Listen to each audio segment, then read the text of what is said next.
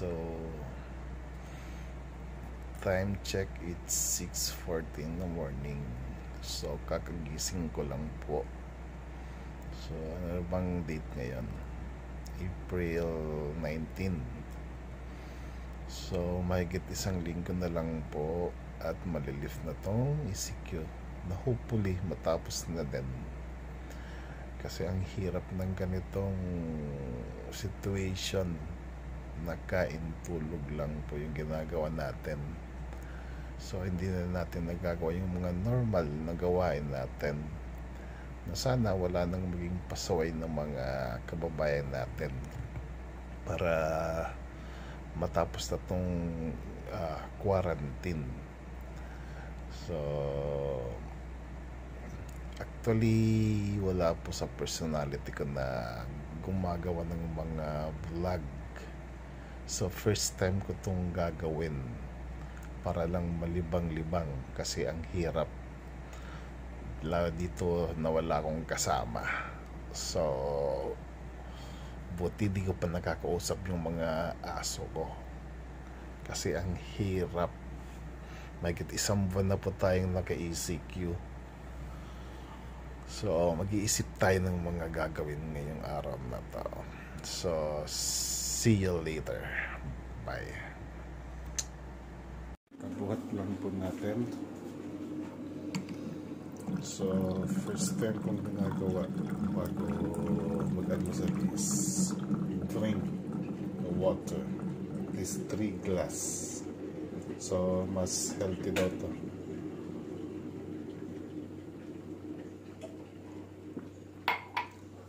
So, gagawa po tayo later ng almusal. Uh, kumusta natin yung aso ko. Chi. Ito yung aso ko. Ang malandi. Malanding aso. Malanding aso. So mag-almusal na siya. So ako muna yung mag-almusal bago siya. So see you later. Okay, so almusal ko is uh, biscuit lang and cereal. So hindi ako mahilig kumain ng madami pag umaga. So siguro yun na yung nakasanayan ko. So biscuit lang.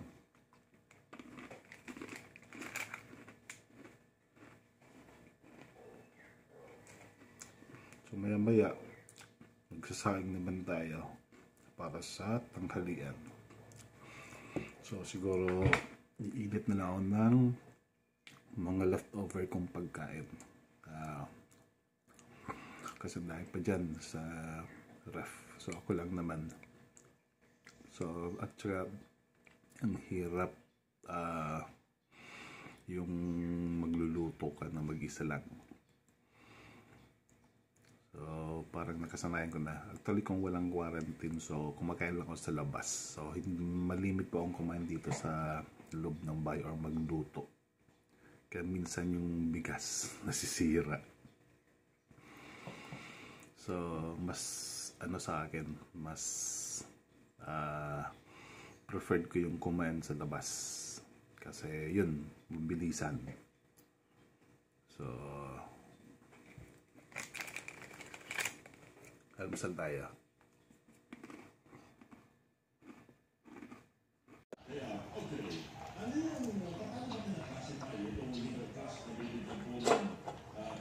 Pachi. Pachi.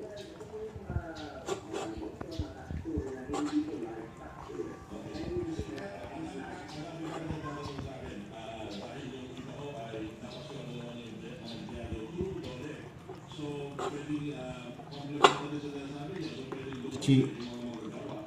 Pachi. Hey.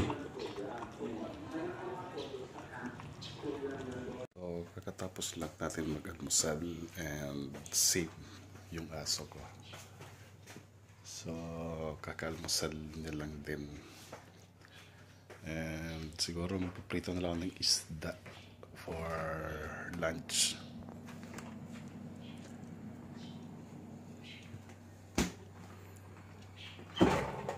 Although may ulam pa naman ditong mga natira. So, yun lang yung laman ng ref. So, pasensya nyo na. So, napupuno lang yung pag andito yung kapatid ko. So, yun. So, didifrost ko muna itong tilapia. So, piprito na lang siguro ako. So, mga 10.30 ko na yan lulutuin. So, maaga pa naman. And, siguro, lilinis muna ng bahay. So, although malinis pa naman, so gagarins ko lang din nung nakaraan. So, walis-walis lang muna siguro. And, maglalaba pa later. Okay.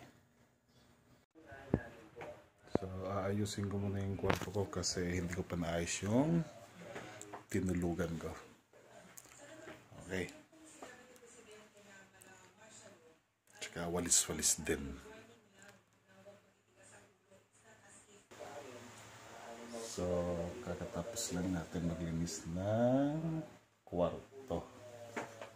Ayan. Ayan. Malinis na yung kama. So, namiss ko nang gamitin yung mga sapatos ko.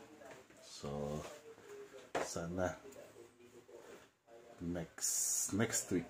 So, balik trabaho na kasi ang hirap. Boring na masyado. Okay. So, yun. Linis na yung kwarto. Ay. So, see you later. Okay guys, so luto muna tayo ng kanin. So, around 10, 10.30 na ng umaga.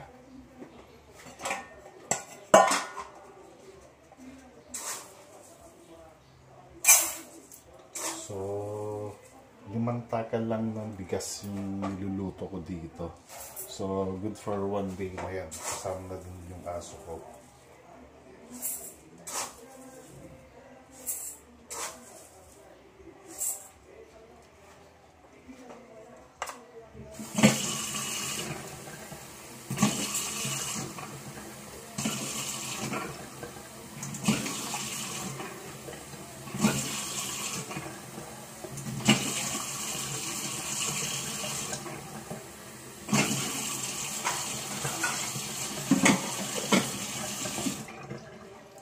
Sign po tayo.